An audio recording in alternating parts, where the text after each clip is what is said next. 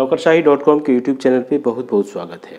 सीतामढ़ी का जो बाजपट्टी विधानसभा क्षेत्र है, वहाँ के स्थानीय लोग, स्थानीय विधायिका रंजू गीता से काफ़ी नाराज़। के लोगों से वादा किया था 2015 के चुनाव में कि मधुबन पंचायत के दो गाँवों को जोड़ने वाली सड़क पे जो एक पुलिया बनना था, वो नाला है, उस नाला पे पुल बनाने का वादा उन्होंने किया था, लेकिन पाँच साल के बाद जब अब उनके विधानसभा का कार्यकाल समाप्त होने को है, आज तक उन्होंने अपने वादे को पूरा नहीं किया। इस बीच गाँव के लोगों ने काफ़ी उत्साह के साथ अपने बलबूते अपने एक जन समूह के ताकत से उस पुल का निर्माण कर लिया है। और लेकिन उनकी नाराज़गी विधायिका से काफ़ी है। विधायिका से लोग तो पहले से ही नाराज़ हैं।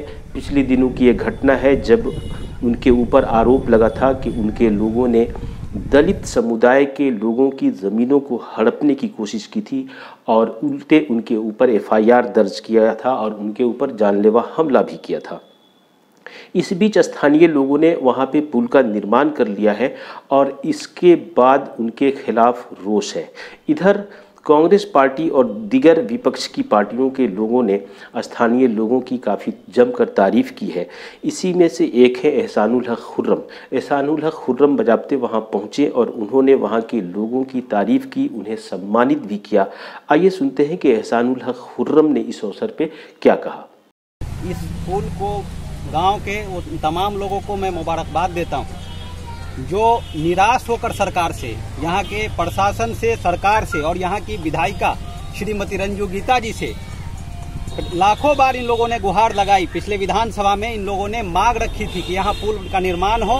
यहाँ 2000 लोग इस पुल से उनको फ़ायदा होता है और यहाँ के लोगों का कनेक्शन टूट जाता है। जब पानी आता है तो आप देख रहे हैं कि क्या हालत हो जाती है। लोगों को आना जाना दोभर हो जाता है। लोग बीमार होते हैं तो अस्पताल तक नहीं पहुँच पाते हैं। तो गाँव के उन तमाम लोगों को मुबारकबाद देते हैं कि उन्होंने समाज के लिए एक परसेप्शन सेट किया है। लोगों के इस जन भावना को देखते हुए लोगों ने जो मिलकर के एक प्रयास किया है वह एक अपने आप में नज़ीर है और इसके बाद लोगों में काफ़ी खुशी की लहर है।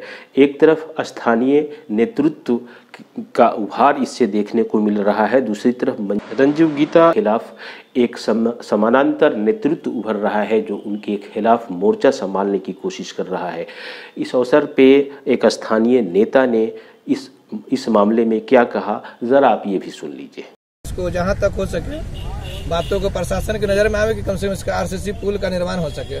आप देख रहे हैं कि अभी निर्माण काम अधूरा है। इसमें हमको स्थानीय प्रशासन और स्थानीय नेता के सहयोग की ज़रूरत है जिससे इस काम को हम लोग आगे कर सकें।